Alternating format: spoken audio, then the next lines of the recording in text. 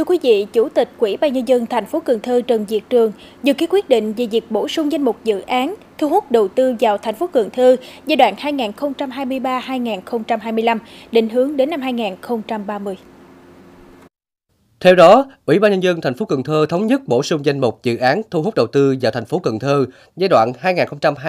2023-2025, định hướng đến năm 2030 đối với hai dự án khu đô thị mới Nam Cần Thơ và khu đô thị mới phường Thường Thạnh, quận Cái Răng. Khu đô thị mới Nam Cần Thơ tọa lạc tại phường Hưng Phú và phường Phú Thứ, quận Cái Răng, có quy mô diện tích 99,86 ha. Khu đô thị mới phường Thường Thạnh, quận Cái Răng có quy mô diện tích 42,2 ha.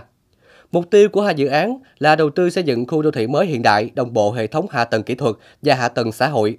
đáp ứng nhu cầu về nhà ở, đất ở của địa phương, đáp ứng nhu cầu về dịch vụ thương mại, văn hóa, giáo dục, thể dục thể thao cho người dân sống trong khu đô thị.